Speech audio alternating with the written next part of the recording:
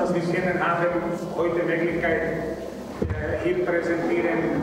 Wunderschöne Werke von der österreichischen Fotografin äh, Frau äh, Seiler.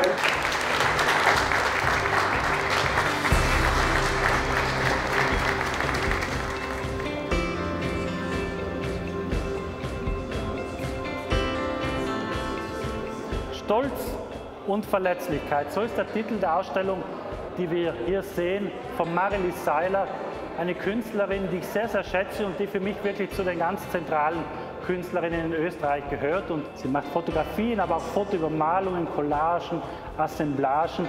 Sie gestaltet diese Fotografie auf ganz unterschiedliche Art und Weise. Es wurden mir zwei Räume zur Verfügung gestellt. In den einen Raum zeige ich die Naturbilder, Natura Naturata. Mit den Bildern will ich aufzeigen, wie die Natur misshandelt wurde, auch unbewusst misshandelt wird. Das stelle ich auch dar mit, mit Aktivitäten, zum Beispiel Trampelbilder. Da treten die Leute auf die Natur drauf. Das mache ich auch, um bewusst zu machen, was sie tun.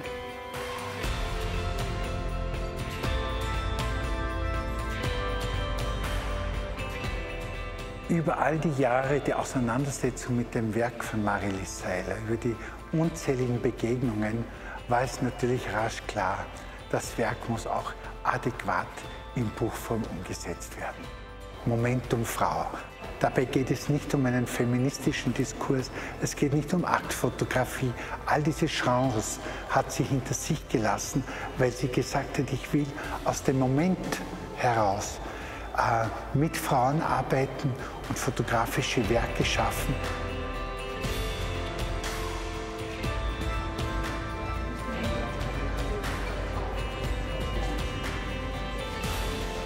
Als ich Marilise vor einigen Jahren kennengelernt habe, habe ich nicht mal die Künstlerin kennengelernt, sondern die Frau Marilise. Und sie hat mich sehr fasziniert mit dem Thema Feminismus, das ich bisher nie so wahrgenommen hatte, weil ich ja die, eigentlich als junge Frau das Privileg habe, diesen, als freie Frau zu leben. Und sie hat mir stundenlang erzählt zu dem Thema und ich war so angetan, weil ich da zum ersten Mal verstanden habe, dass ich heute deswegen so frei und selbstbewusst leben kann. Das Schöne an ihrer Kunst ist, dass sie in vielen ihrer ähm, Serien genau dieses Thema aufgreift.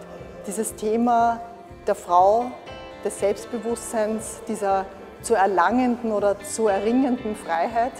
Und ich freue mich ganz besonders, dass sie heute diese ganz großartige Ausstellung hier hat. Für mich wird sie einer der wunderbarsten Menschen bleiben als Mensch, als Frau und als Künstlerin. Als Künstlerin.